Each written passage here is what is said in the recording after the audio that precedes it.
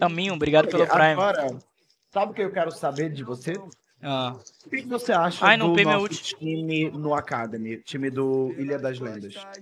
o que, que eu acho em que sentido? Em termos de line-up, né? Porque muita gente acha que a gente chitou e contratou os melhores jogadores. Estamos matando barato. Cara, em questão, em questão de, de nome, sim, velho, com certeza, mas tudo pode acontecer, velho. Inclusive, eu já vi vocês perderem, né, os treinos, então não, não é uma parada one-sided. Sim. Não é uma parada one-sided, velho. Você acha, por exemplo, melhor o time da, da PEN ou o nosso? Atualmente, time da PEN, porque é um grupo que já tem um tempinho jogando junto, então o time da PEN com certeza vai ser melhor. E vocês vão precisar desenvolver, até porque vocês já tomaram 6-0 deles no treino, né, porque eu assisti. Então eu acho que, né, ah, o resultado já mostra. Vocês precisam de tempo. Lachou a gente, hein, Pitbull?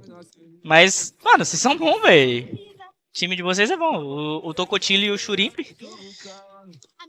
Não, o Tuculho ele é muito bom. O Tuculho ele é diferenciado, isso é Sim. Eu acho que. O assim, Aelzinho tenho também, às vezes, ele, ele, ele é o bicho. Porque às vezes ele fica demais. Eu tenho certeza, mano, que no Academy nós vamos vencer jogos em que teoricamente não deveríamos vencer por causa do Tuculho. Isso aí você pode ter certeza.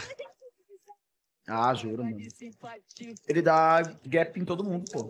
Eu acho, por exemplo, que fazendo lane por lane, todos os, os da PEN são melhores, tá ligado? Com exceção. Com exceção da mid lane, acredito, guys, que todos os da PEN hoje sejam melhores que os do Ilha, tá ligado? Cara, concordo com você, velho. Concordo com você. Mas meu mano 4 não fica pra trás, não. Ah, fica, porque ele tá lá atrás, lá na casa do Caixa Prego. Fica pra trás, é meu 4. Faz favor de respeitar meu menino. Tu faria o quarto, Dog? Que isso?